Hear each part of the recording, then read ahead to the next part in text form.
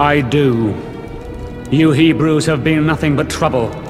My father had the right idea about how to deal with your people. Rameses. And I think it's time I finished the job. Rameses! And there shall be a great cry in all of Egypt, such as never has been or ever will be again. No way!